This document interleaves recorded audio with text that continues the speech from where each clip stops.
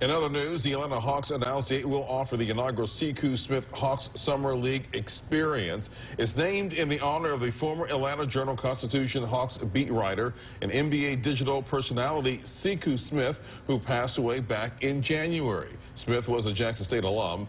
It combines Smith's passions, friendships, and expertise to create an internship that focuses on providing real-world, highly visible experience to a deserving journalism, broadcasting, or multimedia media student from a Southwestern Athletic Conference SWAC University or college.